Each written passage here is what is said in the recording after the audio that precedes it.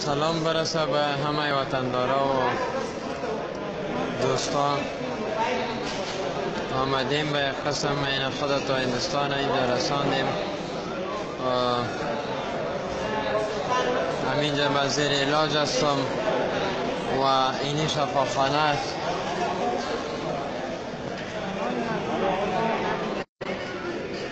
شفاخانه است که اینجا مزیر علاج هستم. فعلا آمینه.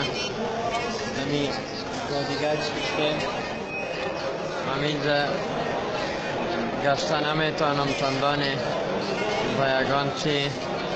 ولی ما هیچ هیچ دلم کدام چی ندارم. ما شما واری ملت دارم که در هر حالت دعا شما کتما بوده. مهربانی های شما کت ما بوده لطف شما کت ما بوده ما بسیار خوش هستم. اگه به خاطر تو یک ملت یک انسان بمره صد بار اگه بمره افتخار کنه که به خاطر ملت با غیرت و با همت که در هر حالت سر دوستی یک دوست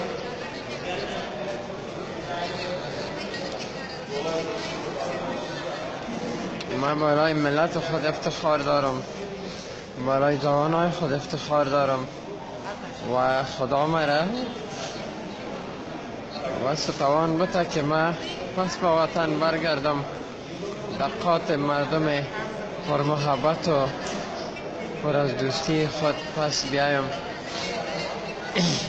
یه اشکای ما اشکای کدام بغیرتی نیست. یه اشکای خوشی که من شما ور ملت دارم که خرد و کران پیر و جوان زن و مرد مرا در هر حالت حمایت کردین پشتیبانی کردین با دعاهای خود با الفاظ نیک و مقبول و خشنگ و زیبای خود و یگانه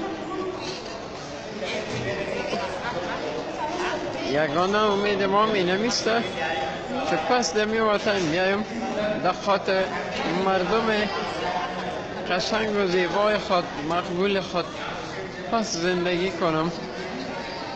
پس امو حس آب آقای وطن خودم احساس کنم و در در فضا و آغوش محبت هموطنهای خود پس من قرار بگیرم.